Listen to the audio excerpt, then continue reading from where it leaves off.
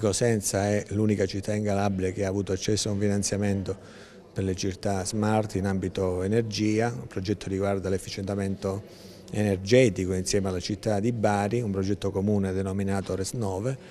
Questo progetto insieme a partner eh, industriali quali Enel, General Electric, eh, le stesse università, l'Università della Calabria in particolare, abbiamo portato avanti un programma che ha dato i suoi frutti, diciamo, soprattutto consentendo a queste aziende di fare l'attività di ricerca e di innovazione con una ricaduta ovviamente sulla città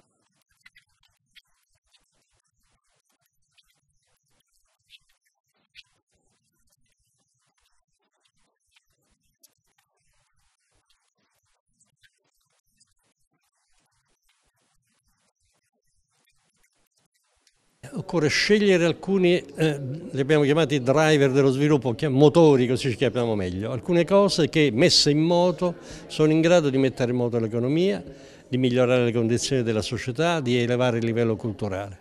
Come? Attraverso dei piani che però non possono essere più i piani dire, della speranza da qui a 10 anni, da qui a 15 anni. Noi dobbiamo fare delle cose che nell'arco dei prossimi 3-5 anni facciano vedere i loro risultati.